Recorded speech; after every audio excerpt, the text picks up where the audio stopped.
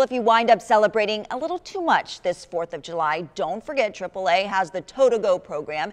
It gives you and your car a free ride home if it's within 10 miles. You don't have to be a AAA member to use it. It's underway right now through Wednesday morning.